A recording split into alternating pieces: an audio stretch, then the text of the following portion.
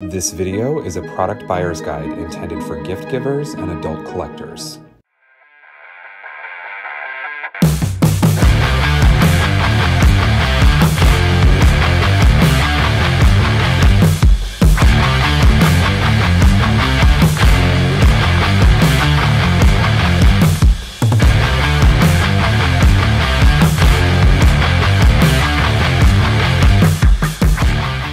Hey guys, welcome to Toy Chat. This is Max. and sang. We'd like to thank MGA for sending us these dolls for free. If you're caught up with the Rainbow High animated series, you know the fierce rivalry between Rainbow High and Shadow High has come to a boiling point with Rainbow Vision, a long running school competition in the series canon. Its title is likely a reference to real world songwriting competition Eurovision. This definitely seems to be where Rainbow Vision borrowed the inspiration for its logo. It's been won by Rainbow High for the past seven years straight, but Team Shadow High is taking center stage in a bold new way. Today, we'll be reviewing a trio of brand new Shadow High dolls the bombastic rock band Neon Shadow. The bandmates include drummer Mara Pinkett, vocalist Harley Limestone, and guitarist Uma Van Hoose. We've already been introduced to Harley in the animated series, and we discussed our first impressions of these characters upon their initial reveal in episode 3 of our Collector's Corner podcast. As we covered in that same episode, Neon Shadow isn't the only musical group stepping up to bat in Rainbow Vision's music competition. Representing Team Rainbow High will be the Rainbow Divas, a separate trio of dolls giving more of a disco girl group vibe to contrast Neon Shadow's hard edged rockers. Rest assured, we'll be reviewing them as well once we track them down. There are already some accounts of collectors finding these dolls at Walmart stores. Before we get started, make sure to subscribe to our channel and turn on notifications so you never miss a moment of the adult collector perspective here on Toy Chat. So, whose team should you be on this season of Rainbow Vision? We'll dive right in to make our case for the shadows. We received these dolls in PR from MGA, but they're expected to be widely available on store shelves by July 11th. When we scanned the barcodes at our local Targets, each dolls was listed in their system for $39.99, though we're unsure if this is the finalized or permanent pricing. We'll display all three characters' UPC barcodes and DBCI numbers on screen here. Share this information with your local store's employees to check stock. The Neon Shadow Girls packaging is most similar to the previous Rainbow High Rockstar line, which we also reviewed. The boxes are stylized to the rival school, of course, featuring iridescent backdrops and Shadow High logo. We can see each character's clearly in her center compartment, with the musical instrument accessories to her right and complete secondary outfit to mix and match at her left. Artwork of these three bandmates decorate the bottom, alongside the iridescent Rainbow Vision logo. School focuses are listed at the side of each doll's box, and it comes to no surprise that all three of these rock stars are music focus. At the back of the packaging, we can see the full body artwork of all three characters and a description reading The world famous Rainbow Vision music competition is heating up, and the rockin' girls of Neon Shadow have their eyes on the prize. Alright, let's see how hard they rock out of box. First up, we have Shadow High's pink girl, Mara Pinkett. She debuts what looks to be a brand new skin tone to the series in a very pale pink. Her eyes are a cool gray with shades of purple to icy blue in the iris. We think Mara's face looks similar to Delilah's, but the eyes share some similarity to Mina Fleur's dreamy expression as well. Mara has dramatic black winged eyeliner with the ends zigzagged into lightning bolts. Another line of white eyeliner is just above that, followed by an airbrushed hot pink eyeshadow layer. The bottom eyelid is pink. A few of her lower painted lashes are white, while the rest are black. A coat of glitter is applied to the white areas of her eyeshadow and the water duct. Her lips are painted a pearlescent candy pink with a dark pink line at the crease. She wears a black hat made of rubbery plastic. This hat reminds us of those popular Disneyland Park Mickey and Minnie Mouse ears, particularly those retro ones that have a little bit of a cap on top instead of just the headband. The ears here, however, more closely resemble cat ears. There are various silver painted stud details on the ears and cap. There's a molded safety pin on each ear. A cursive Shadow High text is in the front, and there's a rim of silver studs around it. So we were panicking a bit about how to take this off, or if we could or should. And pleasant surprise, it actually just pops right off and is held on with a peg, kind of similar to Rainbow High Series 1 Ruby. And just like Ruby, a large hole is left behind in her head when you remove the cap, but you can easily move some of her hair to cover it if you want. Removing the cap, we can see that Mara has a middle part to her long neon pink hair. The hair is crimped and reaches her knees. There were creases left from the plastic bands holding her in box, but with a little water and some padding, those creases vanished. We do not recommend you brush her crimped hair. She also wears large, translucent pink hoop earrings. Mara's signature outfit consists of a cropped denim jacket, black t shirt dress, and pink sock boots. Her hot pink denim jacket has frayed edges at the hem. There's a black patch that reads Shadow, an obvious reference to the brand Supreme. There's also a circular SH patch that has silver tinsel threaded through. There's an embroidered safety pin above the right breast pocket, and a row of silver studs along the front and on each of the breast pockets. Inscribed across the back, we can see Anti Sparkle in black. Underneath, she has on a long black shirt that almost resembles more of a dress with a longer flap in the back.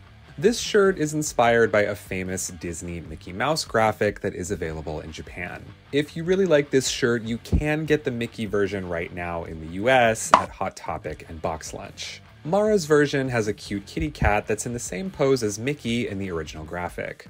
But the kitty cat is definitely styled more like Minnie Mouse. Above the graphic is Japanese katakana that reads Team Shadow, and as we discussed in our Ash Silverstone review, this translates directly to the English phrase Team Shadow. There are silver studs decorating around the graphic and two silver embroidered safety pins on the bottom corner. Mara is wearing pink sock boots. The print on these shoes remind us of the Moschino collaboration with Barbie. Let us know if that's a match in your eyes. The boots are a stretchy fabric and the soles and heels are black plastic.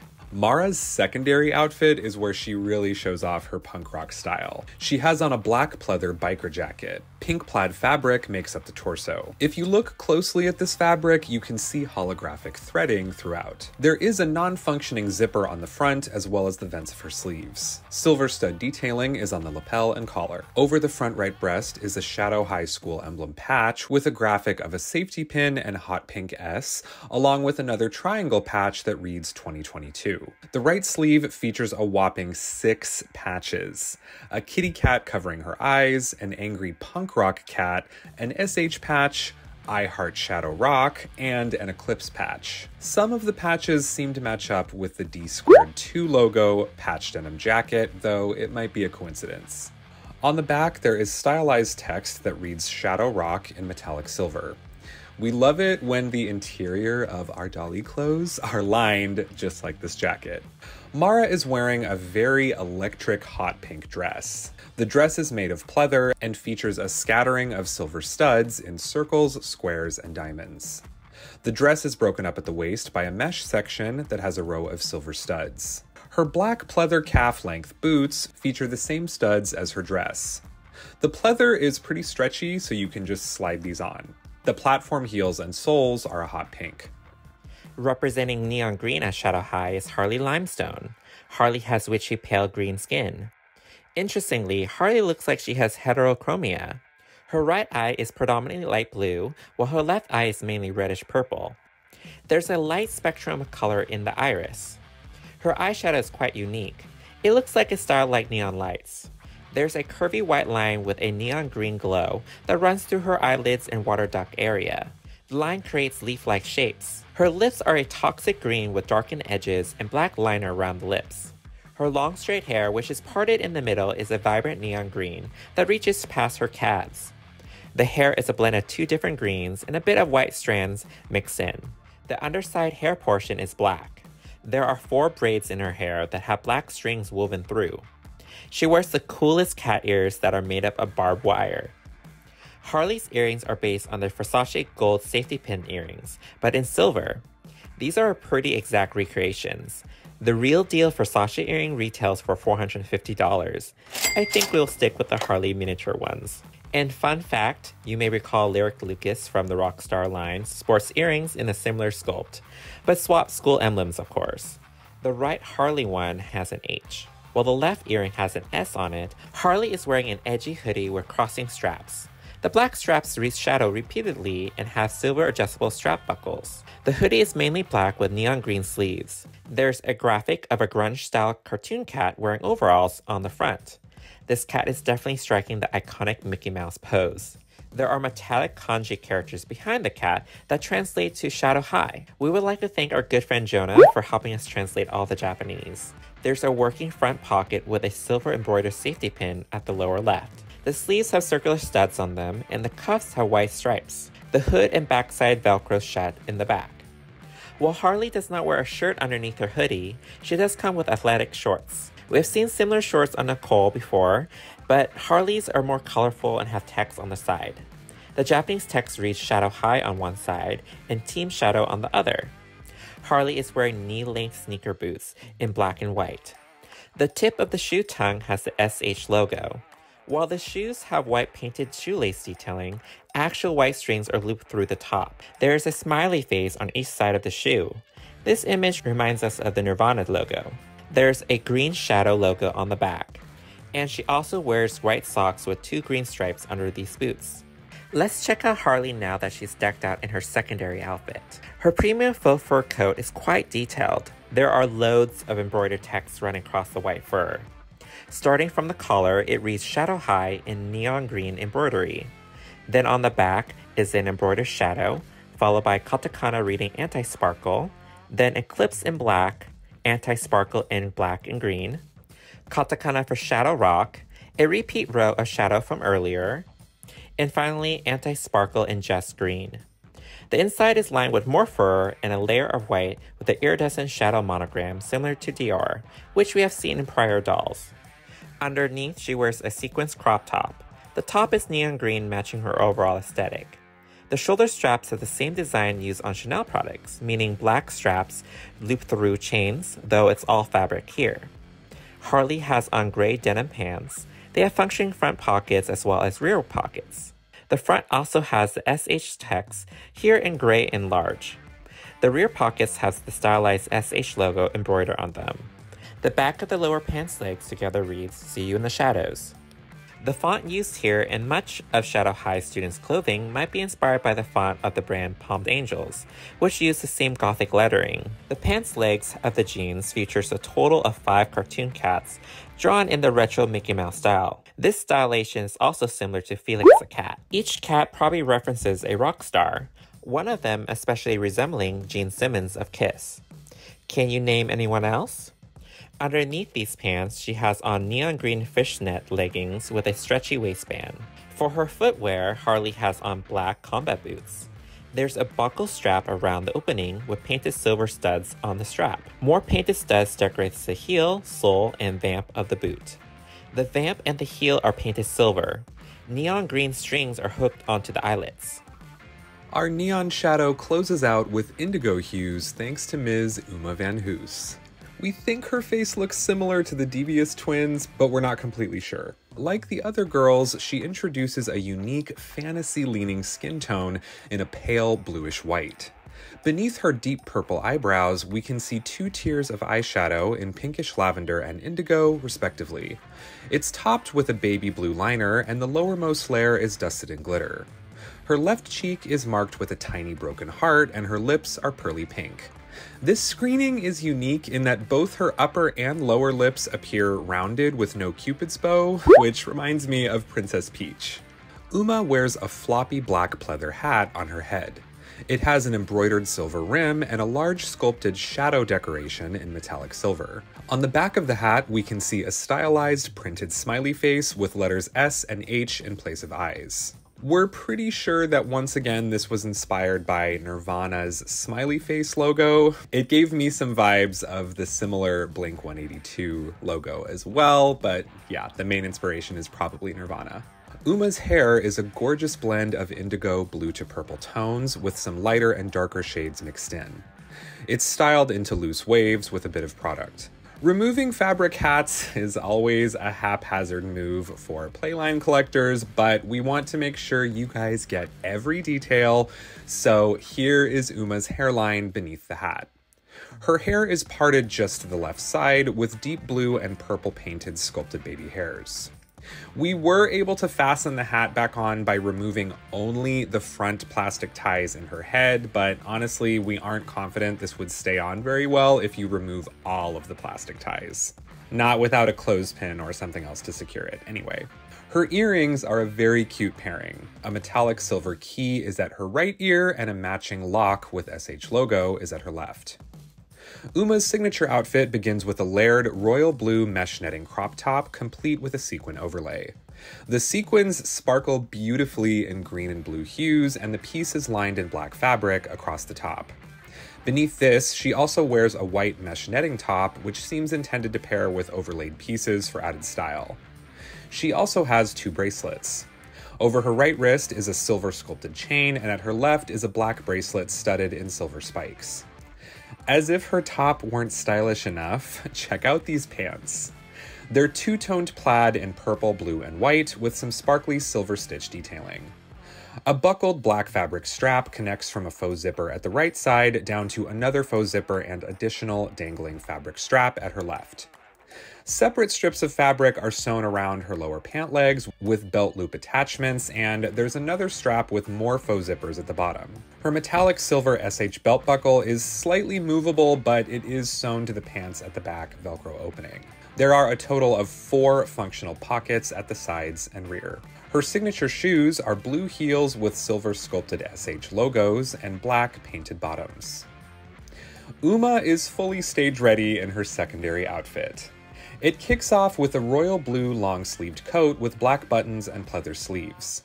Each sleeve is decorated in metallic silver studs and buckle details at the cuff. A silver buckled black belt can wrap through the fabric belt loops, and yes, this is its own separate removable piece.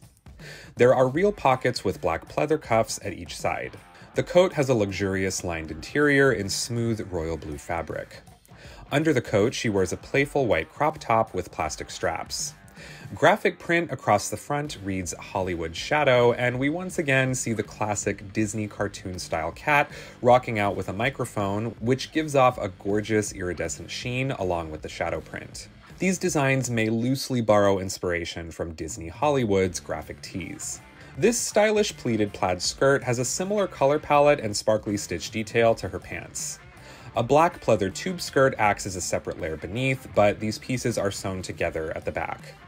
You can remove the little plastic ties at the front if you want the skirt to flow more loosely. Pleated skirts are very in, and we've seen a variety of K pop stars sporting pieces very similar to this, including Blackpink.